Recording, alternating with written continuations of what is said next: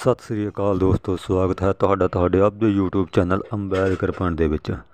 ਇਤਿਹਾਸ ਵਿਸ਼ੇ ਨਾਲ ਸੰਬੰਧਿਤ ਆਪਾਂ ਅੱਜ ਇੱਕ ਹੋਰ ਨਵੀਂ ਵੀਡੀਓ ਲੈ ਕੇ ਹਾਜ਼ਰ ਹਾਂ। ਔਰ ਸ਼ੁਰੂ ਕਰਦੇ ਹਾਂ ਆਪਣਾ ਅੱਜ ਦਾ ਪਹਿਲਾ ਪ੍ਰਸ਼ਨ। ਇਰਾਨੀਆਂ ਨੇ ਭਾਰਤ ਨੂੰ ਕੀ ਨਾਮ ਦਿੱਤਾ ਸੀ? ਇਰਾਨੀਆਂ ਨੇ ਭਾਰਤ ਨੂੰ ਕੀ ਨਾਮ ਦਿੱਤਾ ਸੀ? ਤਾਂ ਇਹ ਦਿੱਤਾ ਸੀਗਾ ਹਿੰਦ। ਠੀਕ ਹੈ ਜੀ? ਇਰਾਨੀਆਂ ਨੇ ਭਾਰਤ ਨੂੰ ਹਿੰਦ ਨਾਮ ਦਿੱਤਾ ਸੀ। ਜੋ ਕਿ ਇੱਥੇ ਚੱਲਦੀ ਸਿੰਧੂ ਨਦੀ ਦੇ ਨਾਮ ਦੇ ਉੱਤੇ ਰੱਖਿਆ ਗਿਆ ਸੀ। ਠੀਕ ਹੈ ਜੀ। ਨੈਕਸਟ ਕੁਐਸਚਨ ਦੇਖੋ। ਯੂਨਾਨੀਆਂ ਨੇ ਭਾਰਤ ਨੂੰ ਕੀ ਨਾਮ ਦਿੱਤਾ ਸੀ? ਯੂਨਾਨੀਆਂ ਨੇ ਭਾਰਤ ਨੂੰ ਕੀ ਨਾਮ ਦਿੱਤਾ ਸੀ? ਤਾਂ ਇਹਨਾਂ ਨੇ ਨਾਮ ਦਿੱਤਾ ਸੀ ਇੰਡਸ। ਠੀਕ ਹੈ ਜੀ। ਇੰਡਸ ਨਾਮ ਦਿੱਤਾ ਸੀ ਯੂਨਾਨੀਆਂ ਨੇ। ਨੈਕਸਟ ਕੁਐਸਚਨ ਦੇਖੋ।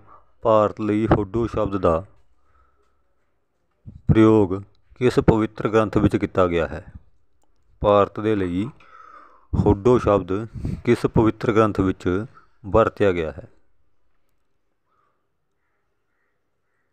ਜਿਹੜਾ ਹੁੱਡੋ ਸ਼ਬਦ ਹੈ, ਇਹ ਵੀ ਭਾਰਤ ਦਾ ਹੀ ਇੱਕ ਨਾਮ ਹੈ।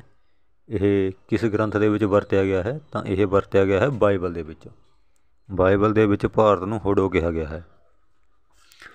ਨੈਕਸਟ ਦੇਖੋ ਮੱਧ ਕਾਲ ਵਿੱਚ ਭਾਰਤ ਨੂੰ ਕਿਸ ਨਾਮ ਨਾਲ ਜਾਣਿਆ ਜਾਂਦਾ ਸੀ? ਮੱਧ ਕਾਲ ਦੇ ਵਿੱਚ ਭਾਰਤ ਨੂੰ ਕਿਸ ਨਾਮ ਨਾਲ ਜਾਣਿਆ ਜਾਂਦਾ ਸੀ? ਤਾਂ ਇਹ ਜਾਣਿਆ ਜਾਂਦਾ ਸੀ ਹਿੰਦੁਸਤਾਨ, ਠੀਕ ਹੈ ਜੀ। ਇਰਾਨੀਆਂ ਨੇ ਨਾਮ ਦਿੱਤਾ ਸੀ ਹਿੰਦ ਔਰ ਮੱਧ ਕਾਲ ਦੇ ਵਿੱਚ ਭਾਰਤ ਨੂੰ ਹਿੰਦੁਸਤਾਨ ਦੇ ਨਾਮ ਨਾਲ ਜਾਣਿਆ ਗਿਆ। ਇਰਾਨੀਆਂ ਨੇ ਨਾਮ ਦਿੱਤਾ ਹਿੰਦ। ਮਹਾਭਾਰਤ ਦੇ ਟਾਈਮ ਦੇ ਵਿੱਚ ਇਹਦਾ ਨਾਮ ਸੀ ਭਾਰਤ ਵਰਸ਼।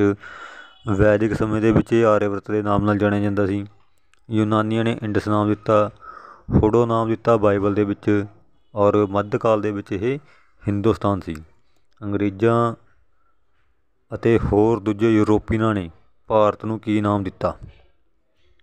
ਅੰਗਰੇਜ਼ਾਂ ਅਤੇ ਹੋਰ ਯੂਰੋਪੀਨਾਂ ਨੇ ਭਾਰਤ ਨੂੰ ਕੀ ਨਾਮ ਦਿੱਤਾ ਸੀ? ਤਾਂ ਇਹ ਦਿੱਤਾ ਸੀ ਇੰਡੀਆ। ਠੀਕ ਹੈ ਜੀ? ਤਾਂ ਇਹ ਸਾਰੇ ਆਰਿਆਵਰਤ ਭਾਰਤ ਵਰਸ਼, ਹਿੰਦ, ਇੰਡਸ, ਹੁਡੋ, ਹਿੰਦੁਸਤਾਨ, ਇੰਡੀਆ, ਇਹ ਸਾਰੇ ਨਾਮ ਨੇ ਆਪਣੇ ਦੇਸ਼ ਦੇ।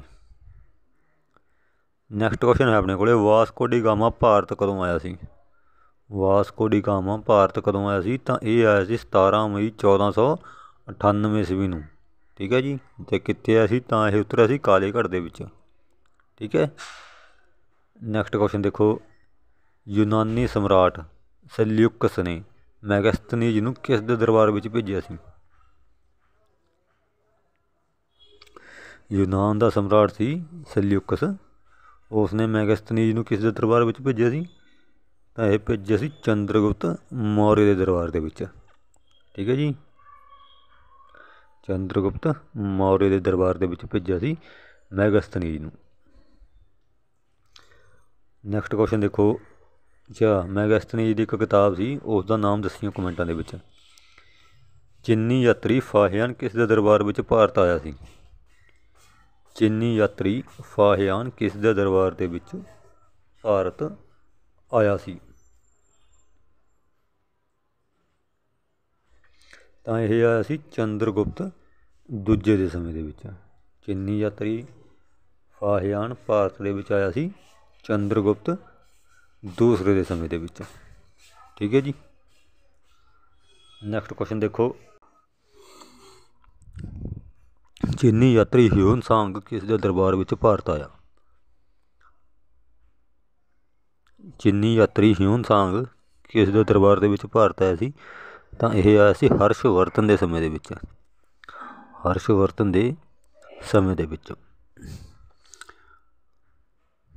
ਕਿਸ ਭਾਸ਼ਾ ਨੂੰ ਆਧੁਨਿਕ ਭਾਸ਼ਾਵਾਂ ਦੀ ਜਨਨੀ ਮੰਨਿਆ ਜਾਂਦਾ ਹੈ?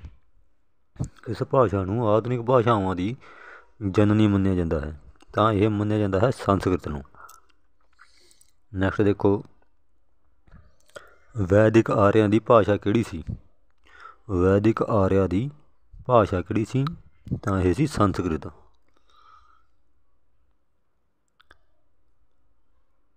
ਨੈਕਸਟ ਕੁਐਸਚਨ ਹੈ, ਕਿਹੜੇ ਵੇਦ ਨੂੰ 10 ਮੰਡਲ ਅਤੇ 1028 ਸੂਤਕਾਂ ਦੇ ਵਿੱਚ ਵੰਡਿਆ ਗਿਆ ਹੈ? ਜੇ ਵੇਦਾਂ ਦੀ ਗੱਲ ਕਰੀਏ ਤਾਂ ਚਾਰ ਵੇਦ ਨੇ। ਠੀਕ ਹੈ ਜੀ। ਰਿਗ ਵੇਦ, ਯਜੁਰਵੇਦ ਅਥਰਵ ਵੇਦ ਅਤੇ ਸ਼ਾਮ ਵੇਦ ਤਾਂ ਇਹਦੇ ਵਿੱਚੋਂ ਦੱਸਣਾ ਕਿ ਕਿਹੜਾ ਵੇਦ ਸੀ ਜਿਹੜਾ ਕਿ 10 ਮੰਡਲਾਂ ਅਤੇ 100 1028 ਸੂਤਕਾਂ ਦੇ ਵਿੱਚ ਵੰਡਿਆ ਹੋਇਆ ਹੈ। ਤਾਂ ਇਹ ਸੀ ਰਿਗਵੇਦ ਸਾਮਵੇਦ ਵਿੱਚ ਸਾਮ ਦਾ ਸ਼ਬਦੀ ਅਰਥ ਕੀ ਹੈ? ਸ਼ਾਮ ਵੇਦ ਦੇ ਵਿੱਚ ਜਿਹੜਾ ਸਾਮ ਹੈ, ਉਸ ਦਾ ਸ਼ਬਦੀ ਅਰਥ ਕੀ ਹੈ? ਤਾਂ ਉਸ ਦਾ ਸ਼ਬਦ ਹੈ ਅਰਥ ਹੈ ਗੀਤ। ਠੀਕ ਹੈ ਜੀ, ਇਹਦੇ ਵਿੱਚ ਸੰਗੀਤ ਬਾਰੇ ਜਾਣਕਾਰੀ ਮਿਲਦੀ ਹੈ। ਯੱਗਾਂ ਵਿੱਚ ਪੜ੍ਹੇ ਜਾਣ ਵਾਲੇ ਮੰਤਰਾਂ ਦਾ ਸੰਗ੍ਰਹਿ ਕਿਸ ਵੇਦ ਵਿੱਚ ਹੈ? ਯੱਗਾਂ ਦੇ ਵਿੱਚ ਜਿਹੜਾ ਮੰਤਰ ਪੜ੍ਹੇ ਜਾਂਦੇ ਨੇ, ਉਹਨਾਂ ਦਾ ਸੰਗ੍ਰਹਿ ਕਿੱਥੇ ਹੈ? ਤਾਂ ਉਹ ਹੈ ਯਜੁਰਵੇਦ ਦੇ ਵਿੱਚ। ਠੀਕ ਹੈ ਜੀ ਸਾਮਵੇਦ ਦੇ ਵਿੱਚ ਸੱਸਾ ਆ ਰਿਹਾ, ਤਾਂ ਇਹਦਾ ਸੰਬੰਧ ਸੰਗੀਤ ਨਾਲ ਹੈ। ਯਜੁਰਵੇਦ ਦੇ ਵਿੱਚ ਇਹ ਆ ਰਿਹਾ, ਤਾਂ ਇਸ ਦਾ ਸੰਬੰਧ ਯੱਗਾਂ ਨਾਲ ਹੈ। ਅਥਰਵਵੇਦ ਦੇ ਵਿੱਚ ਐੜਾ ਆ ਰਿਹਾ ਤਾਂ ਇਸ ਦਾ ਸੰਬੰਧ ਅੰਧ ਵਿਸ਼ਵਾਸ ਨਾਲ ਹੈ।